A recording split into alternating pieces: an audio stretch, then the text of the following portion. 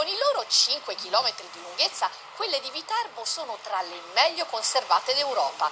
Le mura che cingono il capoluogo della Tuscia raccontano una storia secolare, fatta di battaglie e di assedi, ma anche di scambi e incontri tra genti diverse. È scandita da torrioni e porte quadrate con tanto di merli e camminamenti di ronda in alcuni punti la suggestiva cinta muraria di Viterbo. Le testimonianze più antiche tuttora visibili risalgono al 1095. Per difendersi occorreva costruire bene e in fretta e a Viterbo si utilizzò un sistema davvero singolare. Questo tratto, che è molto lungo, viene costruito per tratti verticali, perché un documento dice che ogni famiglia doveva erigere un tratto di totte canne delle mura. Intanto si continuava a costruire e ad ampliare la cinta.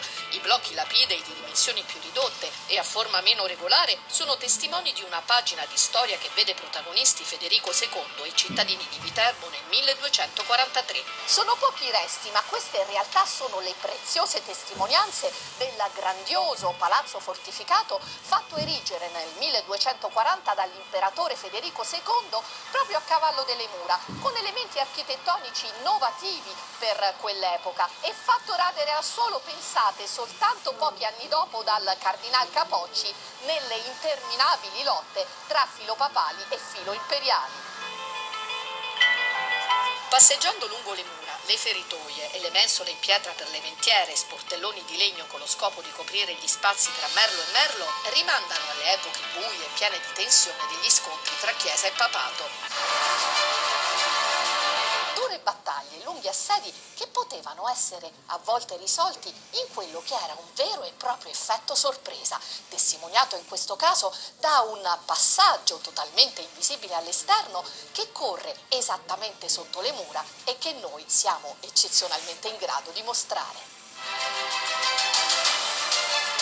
I viterbesi tramite questo cunicolo riuscirono a mm, arrivare al campo degli assedianti e quindi creando scompiglio in questo campo. Passarono gli anni e le mura, pur con tutte le trasformazioni, continuarono ad avvolgere la loro cintura di pietra intorno alla città di Viterbo. È stata fatta una proposta per fare, proprio partendo da questa zona di Valle Faul, una sorta di parco delle mura, quindi un parco aperto al pubblico che costeggia le mura valorizzazione che potrebbe passare anche per l'accessibilità dei camminamenti di alcuni tratti di quelle mura che, come cita la targa, nei pressi dell'ormai scomparsa Porta Sonsa, garantivano l'accesso alla libertà rappresentata da quella città, spesso simbolo nel Medioevo, di affrancamento dalla servitù e indipendenza dai grandi poteri.